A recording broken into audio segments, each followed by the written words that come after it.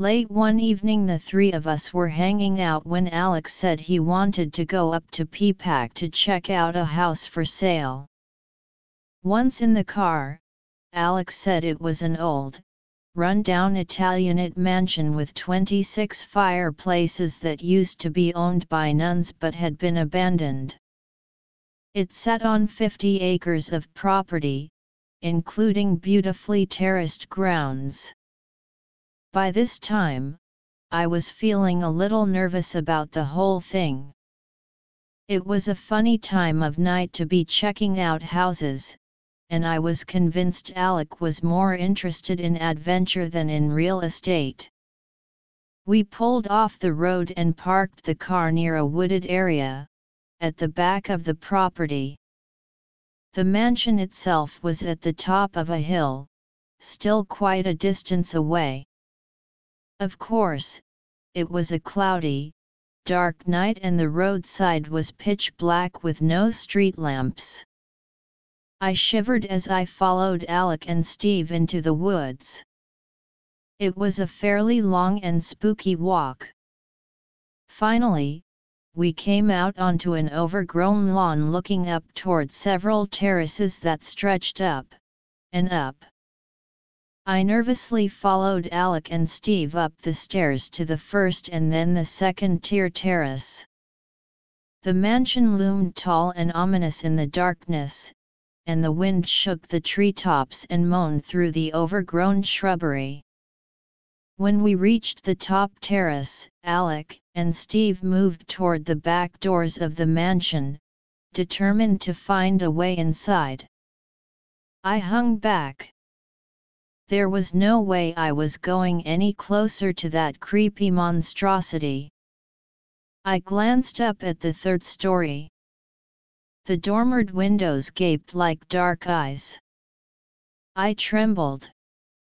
Suddenly, a ball of light appeared in the window. I blinked in surprise, I was sure Alec had said the house was abandoned. The light seemed to float, and before my astonished gaze, it expanded and formed into a glowing feminine figure.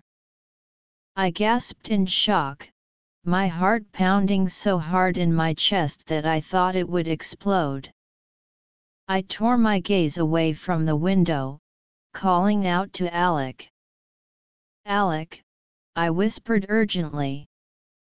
Let's get out of here. Something in my tone penetrated his thick head, and he and Steve loped over to where I was standing.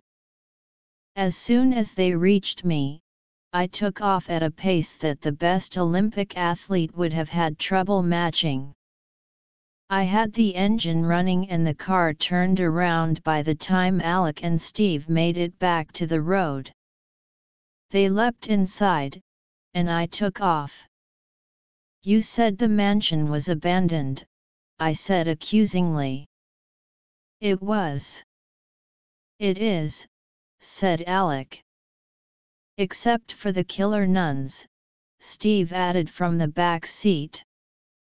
I shrieked. Killer nuns. Sure, Steve said, leaning forward between the two front seats and glancing from me to Alec. Didn't Alec tell you about the crazy Mother Superior who became a pagan and tortured and killed her fellow sisters when they refused to join her evil practices? She chopped them up and scattered pieces of their bodies throughout the mansion. There was blood everywhere when the police came to investigate. The Mother Superior's ghost is supposed to haunt the terraces at the back of the house. They say she tries to lead you into the mansion in order to torture and kill you. Shivering, I dropped off the boys and went home. For the rest of the night, my dreams were filled with the glowing figure of a homicidal nun, who chased me down the endless terraces of an Italianate mansion, holding an axe.